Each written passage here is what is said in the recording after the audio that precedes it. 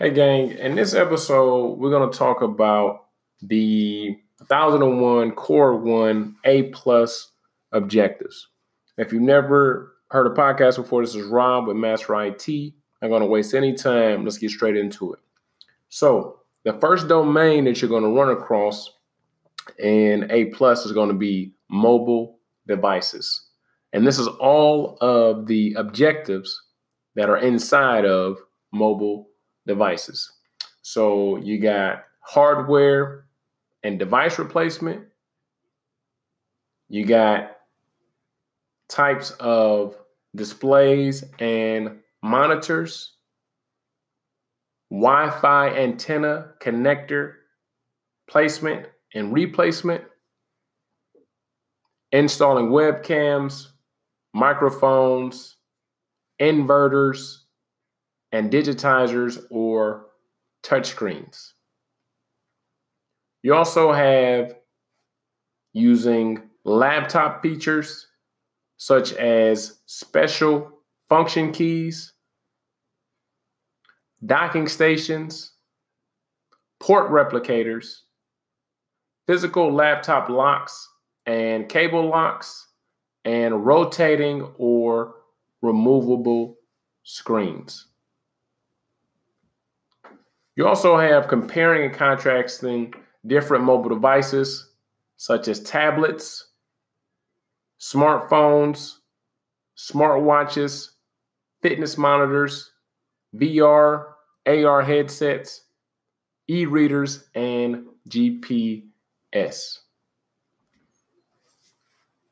Next up, connecting and configuring different accessories such as wired connection types, wireless connection types such as NFC, Bluetooth, IR, and hotspots, and also configuring accessories such as headsets, speakers, game pads, extra battery packs, protective covers, credit card readers, and memory cards. Next up, you got configuring basic mobile device network connectivity, such as hotspots, tethering, what is airplane mode, enabling, disabling, and pairing Bluetooth, configuring network connectivity for corporate or ISP email configuration, integrated cloud configuration, radio firmware, IMEI versus IM, IMSI, and VPNs. Last but not least, in the mobile device domain, you have device synchronization, such as synchronization methods, types of data to synchronize, multiple authentication for SSO, software requirements, and connection types enable synchronization. That was the first set of objectives for the mobile device domain. If that was going by pretty fast, it's because it's a lot of stuff to cover. And remember, uh, we cover all of this stuff over at Master IT inside of our course. Uh, this is a reason that I push people to um, study up a lot, and why not come to um, a place where people are succeeding? Uh, you got a guy that actually cares about you, and wants to see you succeed, um, and actually has a course that's affordable and works. Next up, next domain is networking. So in this domain, you compare and contrast TCP and UDP ports and protocols. That's going to be your first objective. Your next objective is going to be compare and contrast common network hardware devices such as routers, switches, and access points. Your next objective is given a scenario, install and configure a basic SOHO network. So that's going to be access point settings, IP addressing, QoS, DMZs. Next up is going to be compare and contrast wireless networking protocols. So that's going to dive into 802.11, all the different frequencies and the variations between those two 4G, 5G, and LTE. Okay. Next objective summarize the properties and purposes of services provided by network hosts. So there's going to be a lot of server based roles. Next up is explain common network configuration concepts. So IP addressing, will you do it dynamically? Will you do it statically? How you set your DNS server up? How you set up your gateways? How you set up your VPN? Will you have VLANs? If all of these acronyms, if all of these things aren't ringing a bell, that means that you need to study up so you be prepared for the core one, um, 1001 exam. Just remember um, A plus two part exam, um, 1001 and 1002 to get certified. Next objective compare and contrast internet connection types, network types, and their features. So that's going to go on the difference between cable, DSL, dial up, fiber, different types of network types. Are you in a LAN, a WAN, or a MAN, so on and so forth. Uh, next up is given a scenario. This is the last objective um, for the networking domain. Giving a scenario, use appropriate networking tools. What tools do you need to use in certain situations? The next domain is hardware. The first objective in hardware is explain basic cable types, features, and their purpose. So Cat5, Cat6, fiber, coaxial, and those different scenarios, which one will you use? Uh, what's the difference between HDMI, VGA? So those different types of cables, what would be the differences?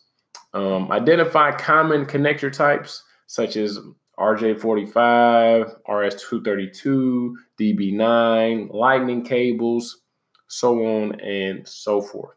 Next objective, given a scenario, install RAM types. So DIMM, DIMM, single channel, triple channel, dual channel. Next up is 3.4. This is the third objective for the hardware domain. So given a scenario, select, install, and configure storage devices. So that could be optical drives, solid state drives, magnetic drives, drives that don't have moving parts, flash drives, different RAID configurations. All of that is going to be smushed into that objective. Next objective is given a scenario, install and configure motherboard, CPUs, and add-on cards. So that's different motherboard form factors, different express slots, different expansion slots. What's the difference between the BIOS and UEFI, CMOS batteries, CPU features? There's a lot crammed inside of that objective. Um, 3.6 or the six objective in the third domain, which is hardware. Explain the purposes and uses of various peripheral devices. A peripheral, um, if you don't know what that is, it's things such as microphones, speakers, projectors, things that are outside of um, the PC. Okay. Next objective for the hardware domain summarize power supply types and features. Next objective given a scenario, select and configure appropriate components for custom PC configuration to meet customer specifications. If somebody wants a graphic design PC, what would you put inside of that machine? If somebody wants to have a gaming machine, what would you put inside of that machine? So on and so forth. Next objective, given a scenario, install and configure common devices. What's the difference between a thick client and a thin client? How do you configure the touchpad? How do you configure the touchscreen? How do you synchronize all the applications together? Next objective is given a scenario, configure Soho multifunction devices. So such as printers, a multifunction device just means something that can print, scan, can do a multiple of functions. The last objective in the hardware domain is given a scenario, install and maintain various print technologies. So laser printers, inkjet printers, thermal printers, all types of printers will be the last objective in the hardware domain. And we got two more domains to go. So just remember, we went over a lot of stuff so far. Um, if it seems like a lot, trust me, it is. Um, good news, like I said over at Master IT, we got you covered. Um, the fourth domain is virtualization and cloud computing. So um, the first objective just kind of gives you an overview of cloud computing, um, different services that are provided. What's the difference between IaaS, SaaS, and PaaS? Different types of mail services. Do you want a virtual desktop? Do you want to virtualize everything? So that's what's going to be covered in the first objective and pretty much in the second objective as well. It's going to be cloud computing and virtualization. So the fifth domain only has two objectives, and the main uh, objectives are going to be cloud computing and virtualization. So the last um, domain covers troubleshooting. All right. So a lot of the tests, as I always say, is a lot of troubleshooting, but the last domain, which is going to be sprinkled, just remember this stuff isn't in order on the test. This is just saying that these are things that are going to be covered on the exam. Okay. So the last domain um, is going to be hardware and network troubleshooting. So troubleshooting everything. All right. So that's pretty much what you need to think about. Everything that we just named mobile devices, laptops, networking, peripheral devices, printers, all that stuff is going to be on the exam. And you're going to have to figure out if something's wrong, what went wrong, and how do I fix it. So, for example, uh, given a scenario, use the best practice methodology to resolve problems. Remember that CompTIA has their own steps to troubleshooting, and there's six steps. And that first objective is going to cover those six steps. Um, given a scenario, troubleshoot problems related to motherboards, RAM, CPU, and power is a second objective. Third objective, given a scenario, troubleshoot hard drives and RAID arrays. Fourth objective, given a scenario, like I said, it's a little bit everything, troubleshoot video, projector, and display issues.